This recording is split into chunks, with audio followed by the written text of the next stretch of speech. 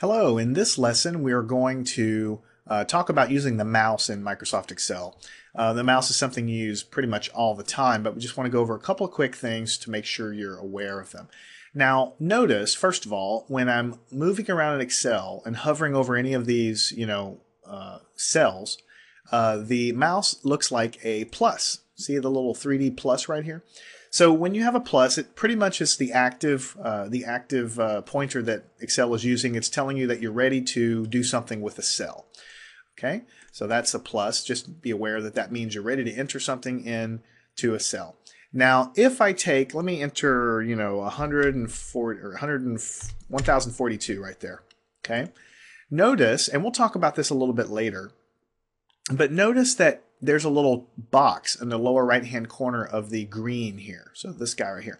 Notice when I put my mouse over that box, it changes to a different kind of plus, a, kind of a thinner plus. All right, so if I were to click and drag this cell down and let go, notice how it basically copies the cell down below it. So what's happening here, and I can drag lots of different cells, is kind of like I'm, I'm doing a really quick and dirty copy and paste of cell entries. So we're going to talk about this a little bit more. It's called autofill. And right now, when I take a, you know, a number, 56, and then I go and hover over there, this kind of